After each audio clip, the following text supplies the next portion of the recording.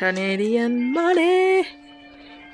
Dollar, 25, 10, 5, 2 dollars, 50, 10, 20, 5. Looks like plastic. Ooh, see through. And then there's this maple leaf.